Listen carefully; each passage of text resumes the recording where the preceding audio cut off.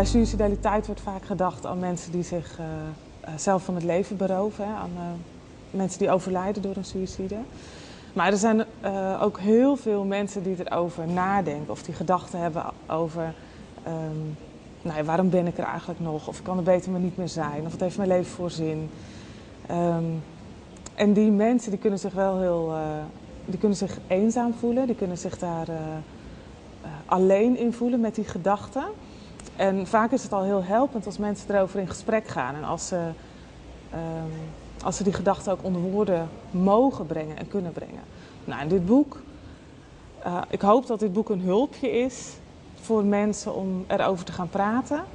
En ehm, ook dat mensen in hun omgeving dat ook zij gestimuleerd worden om het gesprek erover aan te gaan.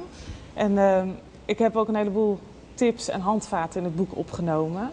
Uh, dat zijn praktische dingen, of vooral praktische zaken, uh, die mensen kunnen helpen om er zo goed mogelijk mee om te gaan. Het, ehm, het, is voor veel mensen, veel omstanders ook, voor familieleden en vrienden bijvoorbeeld, is het vaak echt wel een zoektocht van hoe ga ik er nou zo goed mogelijk mee om.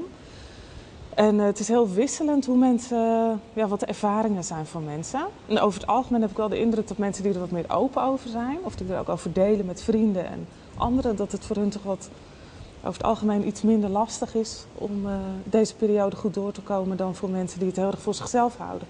Of waar het bijvoorbeeld schaamte ook een heel grote rol speelt. En die schaamte is begrijpelijk.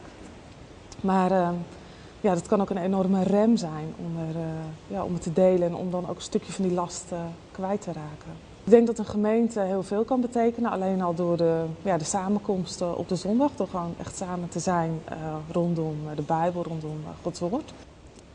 Nou ja, ik vind het woord gemeente al een heel mooi woord, want er zit iets van gemeenschap in of van samen zijn.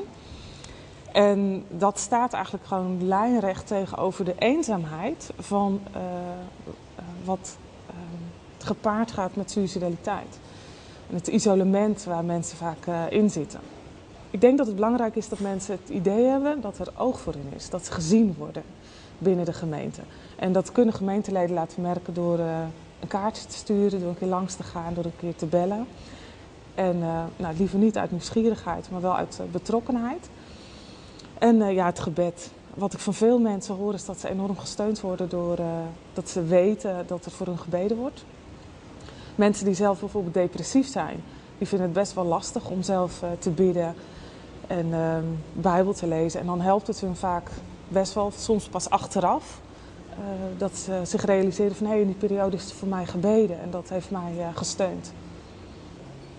Nou, wat me het meest is bijgebleven van het boek, is wel uh, toen ik die vijf mensen ging interviewen, of de vijf situaties, want er waren meerdere mensen bij betrokken, um, dat het voor mensen gewoon zo belangrijk is om hun verhaal te kunnen doen.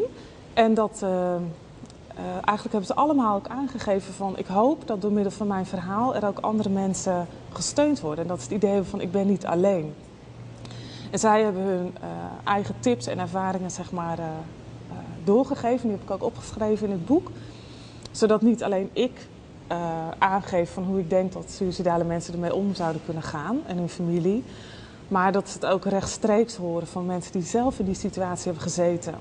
En uh, ja, als dat, als er een aantal mensen geholpen worden op deze manier, dan is wat mij betreft mijn missie geslaagd.